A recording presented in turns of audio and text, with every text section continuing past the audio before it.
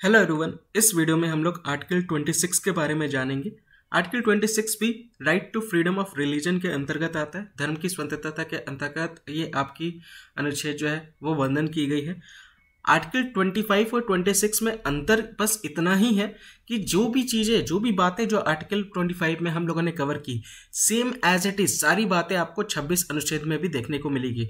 बसलते 25 जो अनुच्छेद है, वो एक व्यक्ति को अधिकार एक प्रोवाइड करता है, धर्म की स्वतंत्रता को लेकर के। और जबकि 26 का जो अनुच्छेद है, वो एक सामूहिक समूह को, एक ग्रुप को, एक रिलीजन को, ये अधिकार जो है, धर्म की स्वतंत्रता का, वो ये प्रोवाइड करता है। तो ये ध्यान रख सकते हैं। बस इतना ही साइड डिफरेंस आपको 25 और 26 अनुच्छेद में आपको देखने को मिलेगा।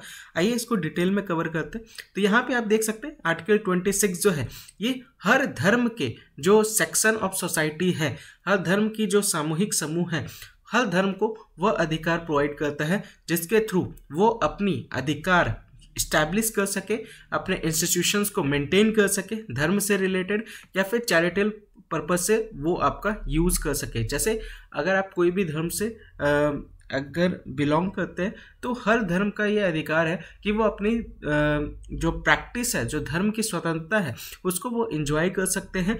यहाँ पे हर धर्म को, यहाँ पे, ये यहाँ पे बताया गया है कि वो हर धर्म को प्रोपगेट करने के लिए, हर धर्म को हर धर्म का प्रचार करने के लिए वो क्या कर सकते हैं? वो चंदा, जो कहते हैं, वो कलेक्ट कर सकते हैं, ताकि वो अपने धर्म को अच्छे से सेलिब्रेट कर सके। यहाँ पे किसी भी तरह का कोई भी ज़बरदस्ती, किसी से कोई भी टैक्स जो है, वो वसूला नहीं जाएगा। उसको लेकर के यहाँ पे बात कही जा रही है। किसी भी धार्मिक या मूर्त प्रयोजनों के लिए संस्थाओं की स्थापना और पोषण का यहाँ पे अधिकार जो है, वो यहाँ पे इसके तहत यहाँ पे एक रिलीजन को, एक धर्म को यहाँ पे ये प्रोवाइड करता है।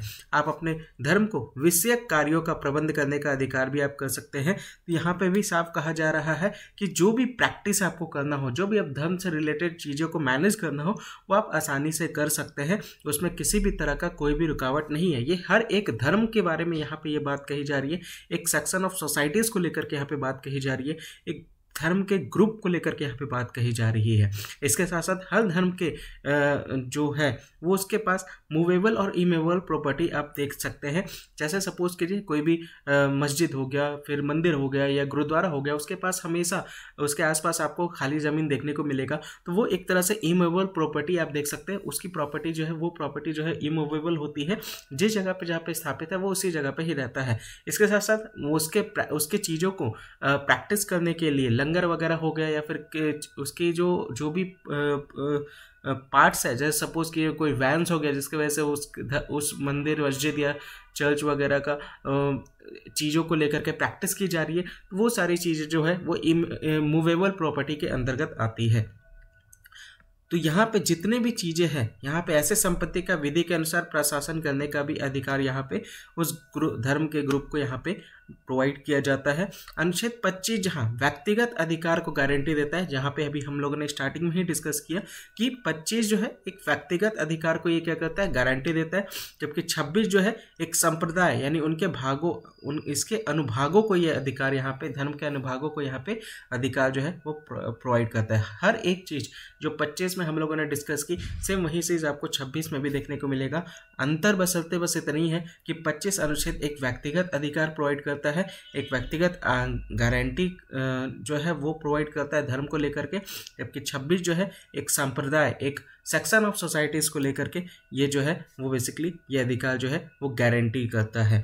दूसरे शब्दों की बात करें तो ये आर्टिकल 26 जो है प्रोटेक्ट करता है कलेक्टिव फ्रीडम ऑफ़ रिलीजन किसी पार्टिकुलर धर्म को यहाँ पे, हर एक धर्म को यहाँ पे प्रोटेक्ट करता है 26 अनुच्छेद, जबकि 25 की बात करें तो ये बेसिकली राइट अंदर article 16 are also subject to public order. यहाँ पे देख सकते हैं 25 की तरह ही अनुच्छेद 26 भी सार्वजनिक व्यवस्था, नैतिकता एवं स्वास्थ्य संबंधी अधिकार यहाँ पे प्रोवाइड करता है। लेकिन मूल अधिकारों से संबंधित अन्य प्रावधानों में ये आपका अधिकार प्रोवाइड नहीं करता ये सिर्फ़ आर्टिकल 26 जो है, वो एक तरह से पब्लिक ऑर्डर यहाँ पे प्रोवाइड करता है मोरालिटी प्रोवाइड करता है हेल्थ प्रोवाइड करता है, लेकिन किसी भी प्रोविज़न से रिलेटेड जो फंडामेंटल राइट्स है, उसको लेकर के अन, इसके अलावा अन्य प्रावधानों में ये कोई भी अधिकार जो है, वो प्रोवाइड नहीं करता। तो इसी से रिलेटेड ये अनुच्छेद छब्बीस था।